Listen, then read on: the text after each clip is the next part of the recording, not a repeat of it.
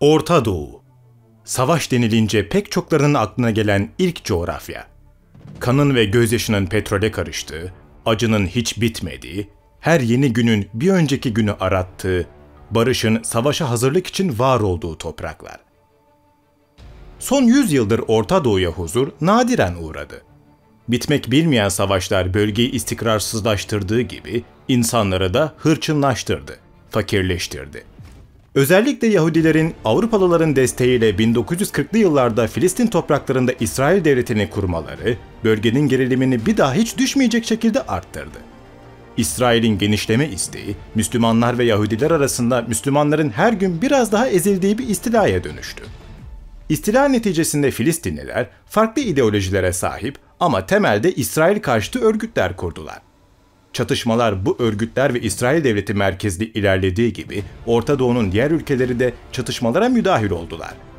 Hatta Avrupalı devlet ve dahi ABD bile bölgede yaşananlara kayıtsız kalmayıp mücadelenin bir tarafı oldu. Yer yer hararetin arttığı İsrail-Filistin mücadelesini yeniden hararetlendiren Hamas'ın 7 Ekim 2023'teki girişimi oldu. Paramiliter örgüt olan Hamas'ın resmi adıyla İslami Direniş Hareketi'nin silahlı kanadı İzzettin El-Kassam Tugayları, El-Aksa Tufanı Operasyonu adını verdikleri girişimle İsrail'e bir saldırı başlattı. Baskın şeklindeki saldırıda Gazze'den fırlatılan 5000'den fazla roket İsrail kentlerini hedef aldı. Saldırı İsrailler için tam bir sürpriz oldu.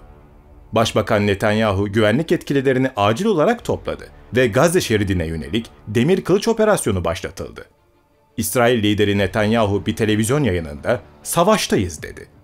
Hamas'ın örgütlendiği ve saklandığı tüm yerleri harabeye çevirmekle tehdit etti. Gazze'yi kötülüğün şehri olarak adlandırdı ve sakinlerini terk etmeye çağırdı.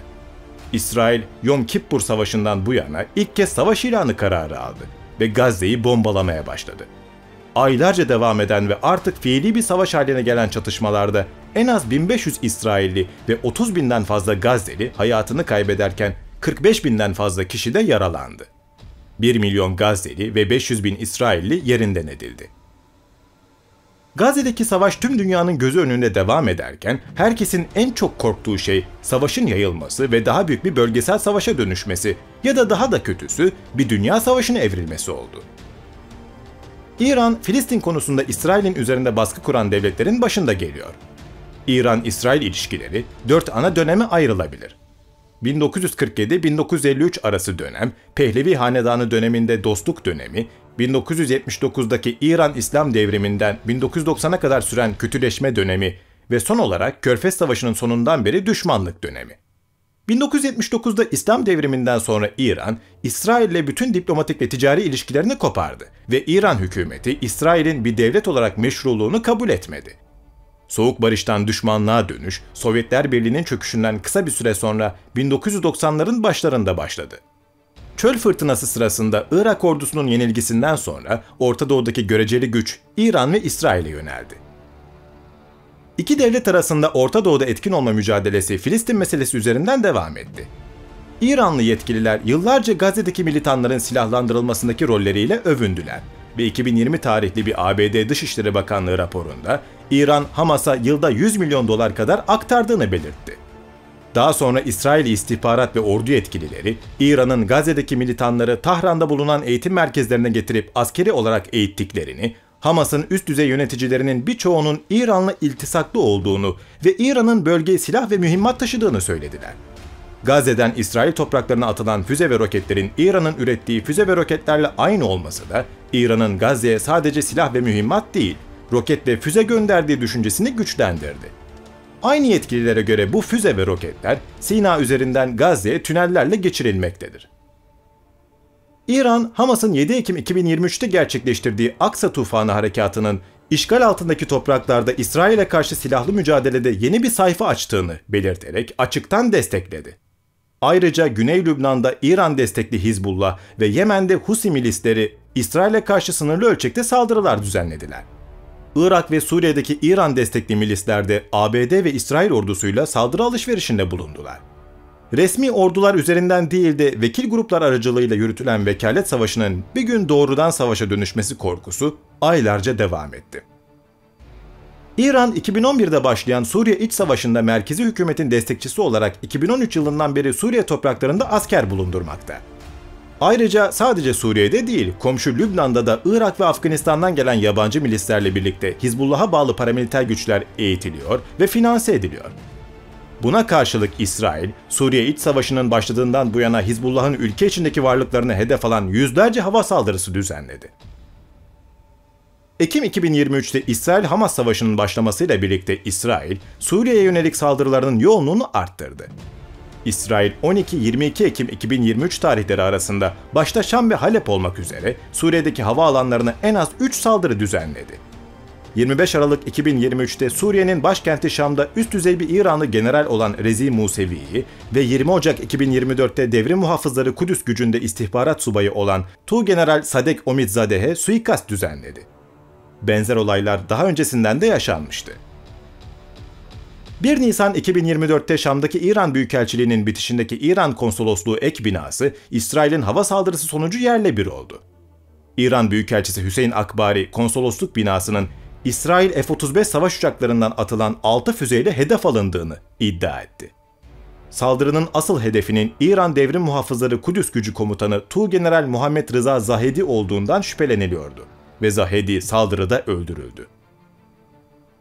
Orta Doğu'daki güç mücadelesinde ABD ve Avrupalılarca desteklenen İsrail'e karşı sürekli baskılanan ve adeta harekete geçmesi için dürtülen İran, konsolosluk saldırısından sonra intikam sözü verdi ve ülke prestijini koruyabilmek için hazırlıklara başladı. Saldırıdan sonra ABD, Fransa, Almanya ve Birleşik Krallık İran'ı İsrail'e saldırmaması konusunda uyardı ve böyle bir saldırının büyük bir tırmandırma olacağı ve Batı'nın İran'a karşı askeri bir tepki vermesine yol açabileceği uyarısını yaptı. İran, İsrail tarafından böyle bir saldırının İran topraklarında doğrudan İsrail askerleri müdahalesine yol açabileceğini ilan etti.